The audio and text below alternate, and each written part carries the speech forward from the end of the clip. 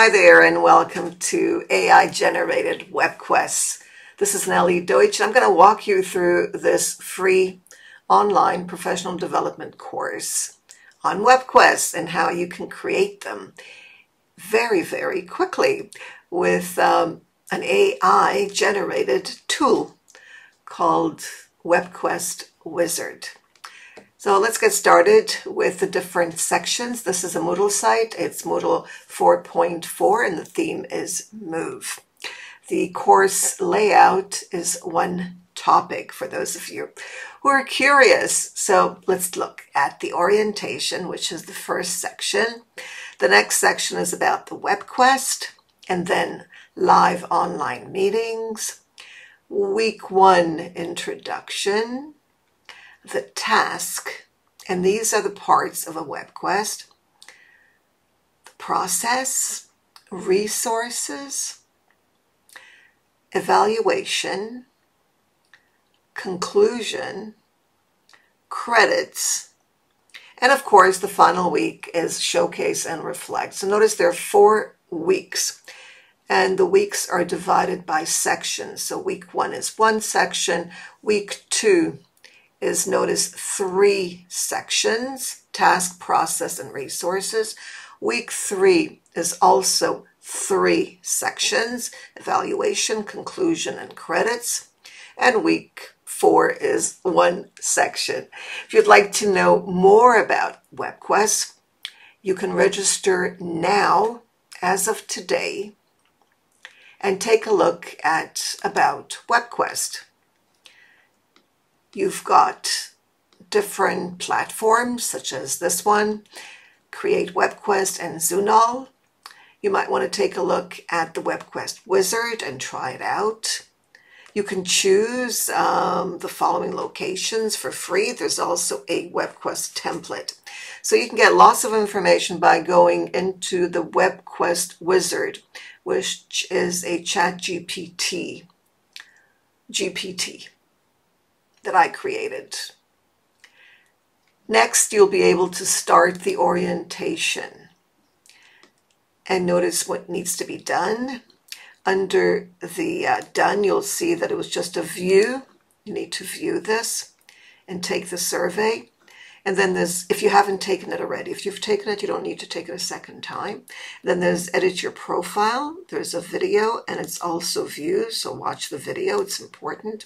And then what do you see, which is what I'm doing right now, you'll do from July 1st. So remember to come back here if you start the course elsewhere. And then uh, there's a video here, set links to open a new window, which is very important information how to save your digital badges because there are 13 digital badges and one final certificate which is completely free and has 27 hours which is more or less the amount of time that you'll be spending during the month of July. Let's go into um, the live online meetings. There is a meeting each week and the meeting is at 12 p.m. EST. And if you click on this, you'll be able to get your time zone. These are the Zoom meetings. If you click on this, you'll get the link. You'll have to register for these meetings. You'll be able to get a certificate for each meeting that you join with a duration written on the certificate, also completely free. And this is just an open discussion forum where you can uh, add your takeaways after watching the recording of the uh, meeting. The introduction is week one. You'll be introducing yourself and learning about the platform. The two ways that you'll be introducing yourself. One is with either Voki, a Voki avatar, D-ID, or HeyGen, which are all AI video from a photo generators. There's also a presentation here that you'll be able to go through and take a look. And then the introduction to AI generated WebQuest course. And there's also a teaching perspectives inventory that you'll be able to take and share your reflections on the results. Week two is about the task. So notice introduction is the first part of a web quest. The task of the web quest is the second part. And you'll be learning more about that using ChatGPT, as I mentioned before, WebQuest Wizard, which I created specifically for you and for the course participants. It's completely free. And then there's the process, which is another part of the WebQuest resources evaluation. I'm not going to go through them, but you just get an idea of the uh, different parts of the WebQuest.